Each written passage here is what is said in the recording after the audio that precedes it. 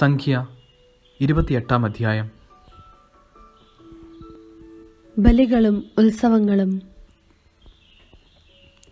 കർത്താവ് മോശയോട് അരളി ചെയ്തു ഇസ്രായേൽ ജനത്തോട് കൽപ്പിക്കുക.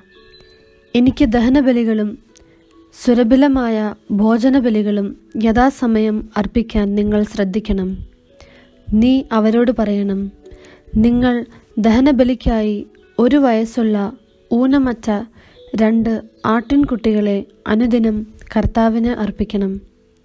ഒന്നിനെ രാവിലെയും മറ്റേതിനെ വൈകുന്നേരവും ബലിയർപ്പിക്കണം. കൂടാതെ ധാന്യബലിയായി ഒരു ഹിന്നിന്റെ നാലിലൊന്ന് ശുദ്ധമായ എണ്ണ ചേർത്ത് ഒരു ഏഫായുടെ പത്തിലൊന്ന് നേരിയ മാവ് അർപ്പിക്കണം. കർത്താവിന്റെ മുമ്പിൽ പരിമളം പരത്തുന്ന ദഹനബലിയായി സീനായ് മലയിൽ വച്ച് നിർദ്ദേശിക്കപ്പെട്ട അനുദിനമുള്ള ദഹനബലിയാണിത്. അതോടൊപ്പം ഒരാട്ടിൻകുട്ടിക്ക് ഒരു ഹിന്നിന്റെ നാലിലൊന്ന് എന്ന തോതിൽ പാനീയ ബലിയും അർപ്പിക്കണം. കർത്താവിനുള്ള പാനീയ ബലിയായി ലഹരിയുള്ള വീഞ്ഞ് നിങ്ങൾ വിശുദ്ധ സ്ഥലത്ത് ഒഴിക്കണം. മറ്റേ ആട്ടിൻകുട്ടിയെ വൈകുന്നേരവും ബലിയർപ്പിക്കണം. രാവിലത്തെ ധാന്യബലിയും അതിന്റെ പാനീയ ബലിയും പോലെ കർത്താവിന്റെ മുമ്പിൽ പരിമളം പരത്തുന്ന ദഹനബലിയായി അതിനെ അർപ്പിക്കണം. സാപത്ത് ദിവസം ഒരു വയസ്സുള്ള ഊനമറ്റ രണ്ട് ആൺ ചെമ്മരിയാടുകളെയും ധാന്യബലിയായി ഒരു ഏഫായുടെ പത്തിൽ രണ്ട് എണ്ണ ചേർത്ത നേരിയ മാവും അതിന്റെ പാനീയ ബലിയും അർപ്പിക്കണം.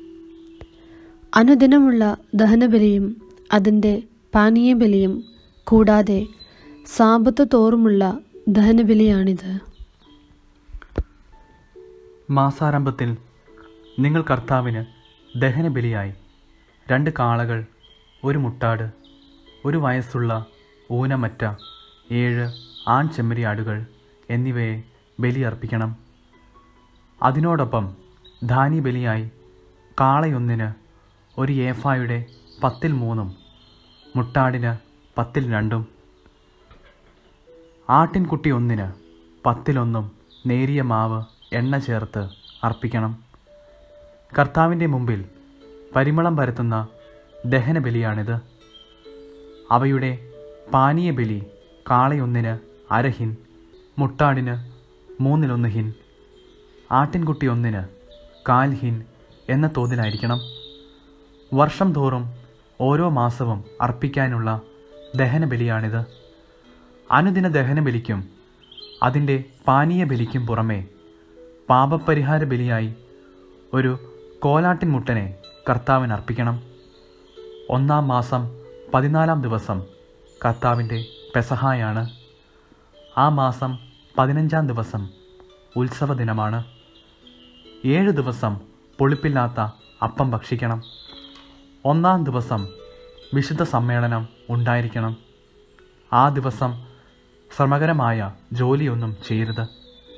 കർത്താവിന് ദഹനബലിയായി രണ്ട് കാളക്കുട്ടികളെയും ഒരു മുട്ടാടിനെയും ഒരു വയസ്സുള്ള ഏഴ് ആട്ടിൻകുട്ടികളെയും അർപ്പിക്കണം. അവ ഊനമറ്റവ ആയിരിക്കണം. അവയുടെ ധാന്യബലിയായി എണ്ണ ചേർത്ത നേരിയ മാവ് കാളയൊന്നിന് ഒരു ഏഫായുടെ പത്തിൽ മൂന്നും മുട്ടാടിന് പത്തിൽ രണ്ടും ഏഴ് ആട്ടിൻകുട്ടികളിൽ ഓരോന്നിനും പത്തിലൊന്ന് എന്ന തോതിൽ അർപ്പിക്കണം. കൂടാതെ നിങ്ങൾക്ക് വേണ്ടി പരിഹാരം അനുഷ്ഠിക്കുന്നതിന് ഒരു കോലാട്ടൻ മുട്ടനെ പാപപരിഹാര ബലിയായും അർപ്പിക്കണം. പ്രഭാതത്തിലെ അനുദിന ദഹന ബലിക്ക് പുറമെ ഇവയെല്ലാം നിങ്ങൾ അർപ്പിക്കണം. അതുപോലെ തന്നെ ഏഴു ദിവസവും കർത്താവിന്റെ മുമ്പിൽ പരിമളം പരത്തുന്ന ദഹനബലിയോടുകൂടെ ധാന്യബലിയും അർപ്പിക്കണം. അത് അനുദിന ദഹനബലിക്കും അതിന്റെ പാനീയബലിക്കും പുറമെയാണ്. ഏഴാം ദിവസം വിശുദ്ധ സമ്മേളനം ഉണ്ടായിരിക്കണം. അന്ന് ശ്രമകരമായ ജോലിയൊന്നും ചെയ്യരുത്.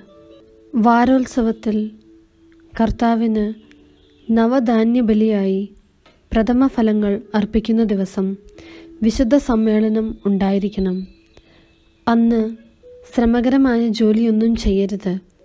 കർത്താവിന്റെ മുമ്പിൽ പരിമളം പരത്തുന്ന ദഹനബലിയായി രണ്ട് കാളക്കുട്ടികളെയും ഒരു മുട്ടാടിനെയും ഒരു വയസ്സുള്ള ഏഴ് ആൺ ചെമ്മരി ആടുകളെയും അർപ്പിക്കണം. അവയുടെ കൂടെ ധാന്യബലിയായി എണ്ണ ചേർത്ത നേരിയ മാവ് കാളക്കുട്ടി ഒന്നിന് ഒരു ഏഫായുടെ പത്തിൽ മൂന്ന്. മുട്ടാടിന് പത്തിൽ രണ്ട് ആട്ടിൻകുട്ടി ഒന്നിന് പത്തിലൊന്ന് എന്ന തോതിൽ അർപ്പിക്കണം. നിങ്ങൾക്ക് വേണ്ടി പ്രായശ്ചിത്തം അനുഷ്ഠിക്കുന്നതിന് ഒരു കോലാട്ടിൻ മുട്ടനെ അർപ്പിക്കണം. അനുദിന ദഹനബലിക്കും അവയുടെ ധാന്യബലിക്കും പുറമെ ഇവയും ഇവയുടെ പാനീയ ബലിയും നിങ്ങൾ അർപ്പിക്കണം. ഇവ ഊനമറ്റവയായിരിക്കാൻ പ്രത്യേകം ശ്രദ്ധിക്കണം.